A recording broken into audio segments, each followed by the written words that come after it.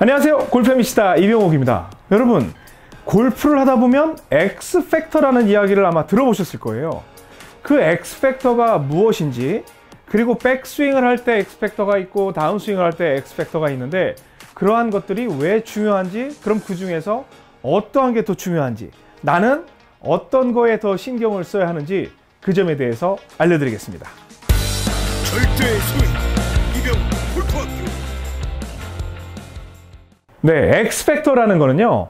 여러분들께서 골프 스윙에 대해서 좀 관심이 있다면 몇 번은 들어봤을 이야기예요. 여기에서 하체와 그리고 상체가 꼬임이라는 얘기를 굉장히 많이 하잖아요. 그래서 하체는 가급적 버텨주는 게 좋고 상체를 쫙 꼬아줬을 때 하체와 상체가 만다는 이 각도 예를 들면 하체는 여기에 있고요 지금 하체는 여기 있고 어깨가 돌아서 이 벌어지는 이러한 X자가 만들어지는 거를 X 팩터라고 합니다. 미국의 이제 교습가가 그 이야기를 해서 많은 그 골퍼들이 그 점에 대해서 이제 관심을 갖기 시작했는데요. X 팩터라는 거는 굉장히 좋은 이론인 것 같아요. 그래서 여기에서 여러분들이 스윙을 할 때 느껴보는 거예요. 하체는 가만히 있고 아, 내 라인이 쭉 도는구나. 그래서 이쪽이 하체와 상체가 작대기가 하체 작대기와 상체 작대기가 차이가 많이 나면 날수록 내 몸에 어우 텐션이 굉장히 많이 오죠. 이 꼬인 느낌이. 이럴 때 몸도 마찬가지로 고무줄과 같아서 탁 놓은 상태에서 팍 놓으면 팍 풀리면서 딱 공을 때려준다. 이제 그 원리거든요. 저는 격하게 공감하는 내용입니다. 근데 중요한 건 뭐냐면 여러분들이 하체와 상체의 X 팩터를 만드는 데에는 굉장히 제한 요소가 있어요. 왜냐하면 움직이지 못해요. 움직이지 말라고 그래요. 그래서 쭉 버티고 아 이거밖에 안 가요. 그러니까 아, 그래서 X factor라는 거를 만들다 보면 여러분들은 명분 때문에 실리를 놓치는 경우가 많습니다. 스윙에서는 하체와 상체의 꼬임이 물론 중요하지만 차이를 만드는 게 굉장히 중요하지만 실제로 이 꼬임보다 더 중요한 건 일단 어깨가 90도 이상 정도는 가주는 게 골프를 치는데 편안한 요소예요. 그런데 이 차이를 많이 만들겠다고 해서 하체를 꽉 잡고 꽉 돌리면 실제로 어깨 턴이 충분히 되지 않아서 여러분들이 공을 파워풀하게 치는데 아주 어려움을 겪습니다. 그리고 실제로 여기에서 엉덩이를 같이 돌린다고 해도 저조차도 많은 엑스팩터를 만들려고 노력하기보다는 일단 어깨 턴을 90도 이상을 만들려고 노력하는데 더 신경을 많이 쓰죠. 그러면 엑스팩터는 꼭 백스윙에서만 있을까요? 아니에요. 여기에서 우리가 백스윙을 했을 때 하체를 버텨주고 상체의 차이를 벌려주지만 실제로 만들어진 이 양, 프로 선수들 같은 경우는 딱 잡아놓고 완전 이렇게 돌아가는 그런 형태를 취하겠지만 뭐 로리 맥길로이는 이 양이 120 몇 도까지 나온다고 그래요. 그러니까 엄청난 회전량이죠. 그런데 아이고 죽겠네 난 이거밖에 안 돼요. 그래서 그러면 나는 이 타고난 어? 유연성이 부족한 이 몸 때문에 나는 그런 건 누릴 수가 없겠구나라고 후회를 하시겠지만 실제로 여러분들에게는 또 한 번의 기회가 있어요.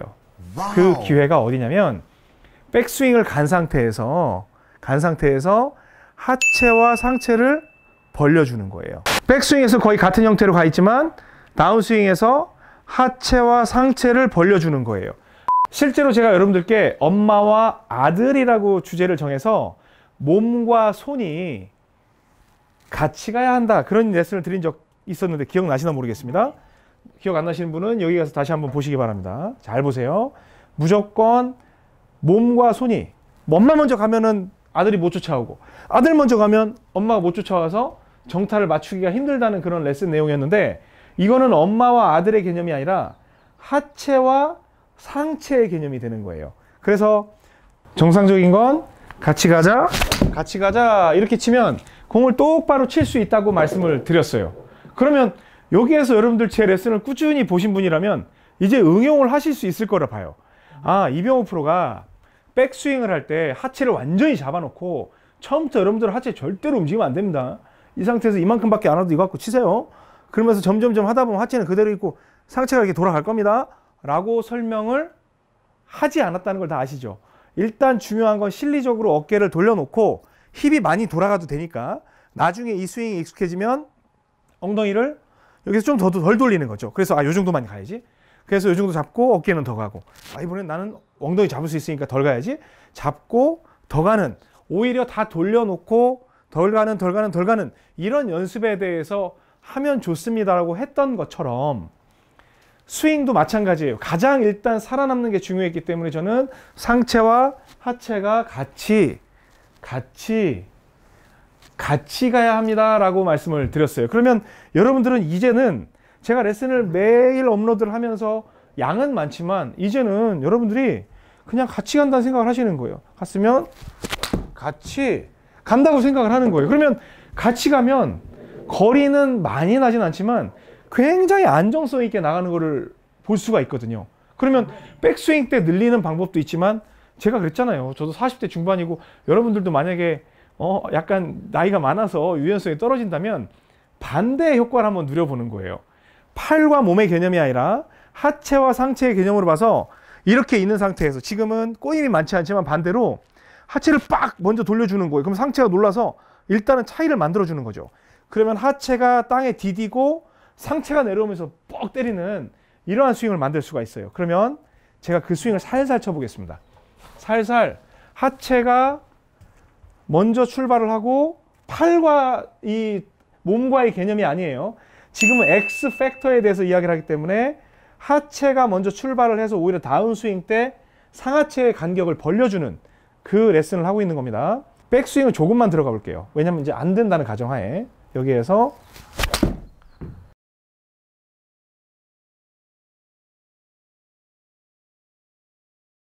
하체가 먼저 출발을 했어요. 하체가 먼저 출발했어요. 저는 뭐 세게 친다는 생각도 없었고요. 여러분들 한번 보시면 어 아까는 같이 가자 할 때는 같이 같이 뭐 스윙 모양이 그럭저럭 같이 같이 같이 이런 모양이었다면 여기서는 가서 하체 먼저 하체 먼저 자 슬로우로 볼까요? 여기서 가서 하체는 좀 잡아놨네요. 그리고 지금 제가 어깨턴 많이 안 한다고 그랬죠. 그래서 어깨턴 보면 작은 스윙이니까 자 이거밖에 안 갔어요. 지금 뭐 완전히 어깨턴 하지도 않았죠. 그런데 여기에서 힙 먼저 봅니다. 힙 쪽이 하체로 어깨를 버텨주고 하체가 훨씬 일찍 열리는 그래서 육안상으로는 크게 확인이 될 수는 없지만 제 느낌적으로 잘 보세요. 여기에서 만약에 백스윙이 크다면 훨씬 더 쉽게 볼 수 있지만 백스윙을 가고 하체가 먼저 출발합니다.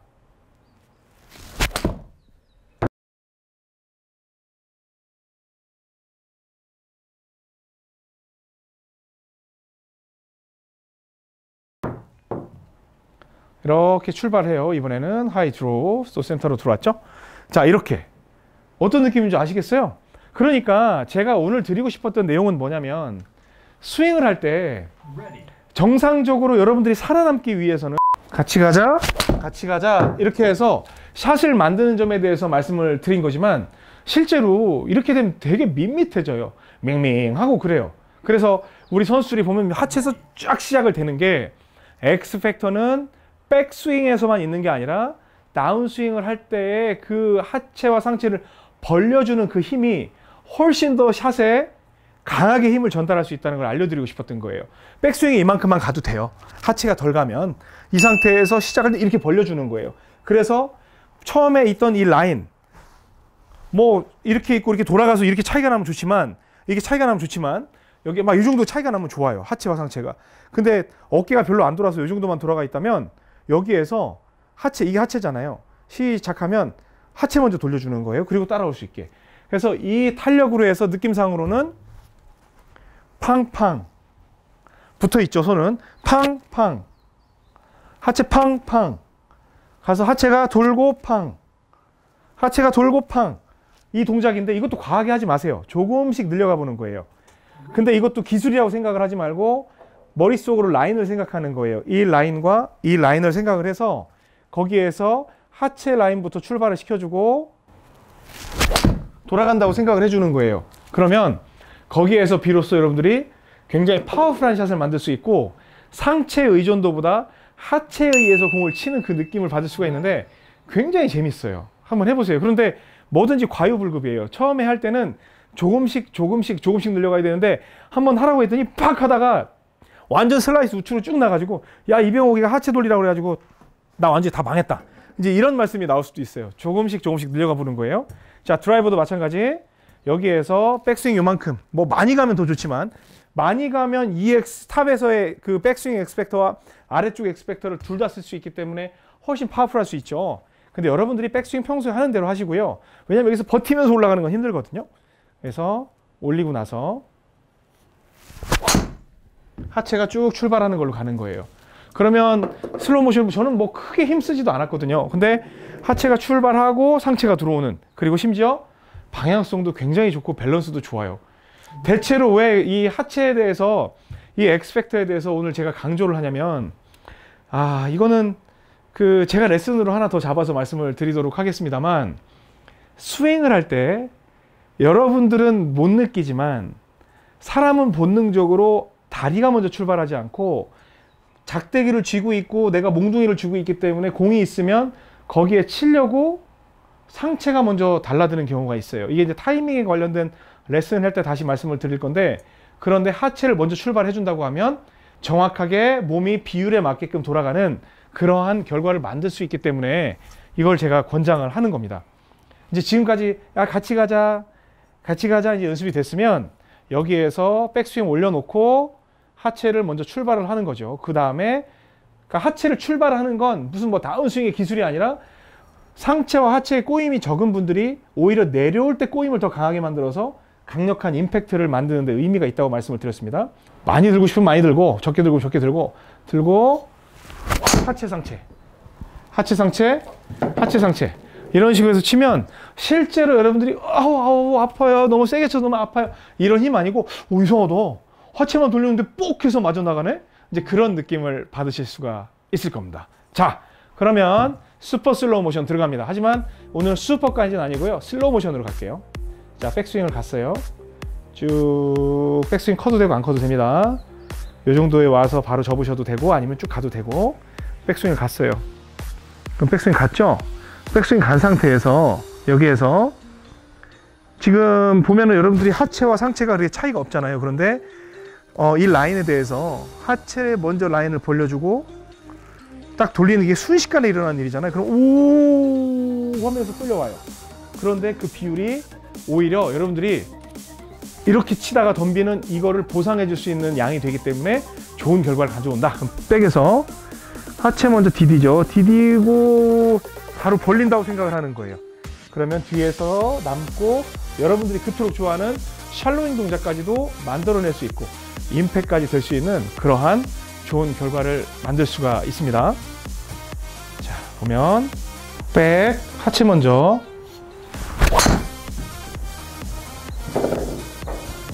이러한 형태로 부드럽게 쳐도 방향성과 힘까지 여러분들이 더 늘릴 수가 있으니까 꼭 연습해 보시기 바랍니다. 처음에 제가 분명히 말씀드렸어요. 이거를 갖다가 너무 과하게 하면 어허 이병옥 때문에 나 스윙 다 망가졌네 이런 말씀 나올 수 있으니까 조금씩 조금씩 조금씩 조금씩 조금씩 늘려가는 거 백스윙도 여기에서 조금씩 조금씩 덜 가는 연습을 하라고 말씀드렸던 것처럼 어, 다운스윙 할 때 엑스펙터도 조금씩 조금씩 조금씩 늘려가는 그러한 연습을 반드시 하셔야 됩니다. 아셨죠? 좋아요, 구독, 알림 설정 잊지 마십시오. 지금까지 골프 미치다 이병옥 골프학교의 이병옥이었습니다. 고맙습니다.